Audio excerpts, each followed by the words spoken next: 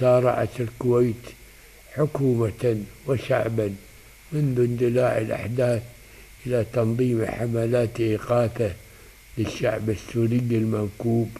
ولا تزال حملات التبرع تدعو وتناشد